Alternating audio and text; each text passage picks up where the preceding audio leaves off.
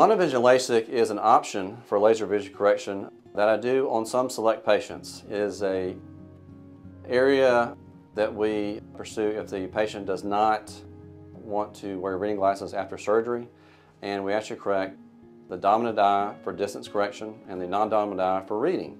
And we do actually do a contact lens trial for approximately four to five days to make sure the patient can tolerate the monovision process. It is a different uh, arrangement than having both eyes doing this, the same vision, but in some select patients it works very well.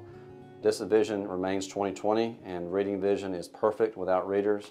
So those patients who desire monovision, I do recommend coming to see me to see if that fits your lifestyle parameters. So if you have any further questions, please call me, Dr. Chris Walton, at 251-341-3385, or you can reach me online at www.waltonvision.com.